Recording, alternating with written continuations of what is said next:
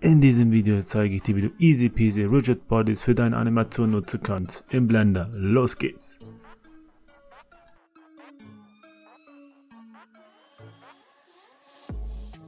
Als erstes erstelle meine Plane als Unterlage.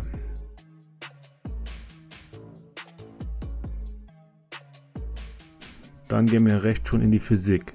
Rigid Body anklicken und den Typ auf Passiv umstellen. Das war schon mal für die Plane.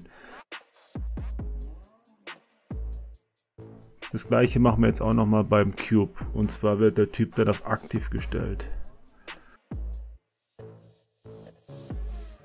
Dieses kannst du nach Belieben mehrmals kopieren, verstellen, ändern.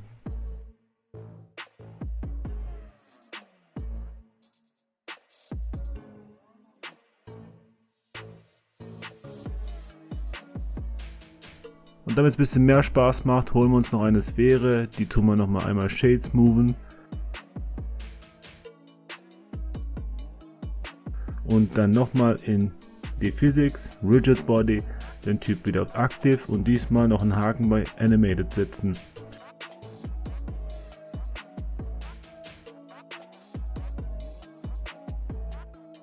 Jetzt musst du nur noch die Sphäre animieren und voila! Easy peasy Rigid Body Animation.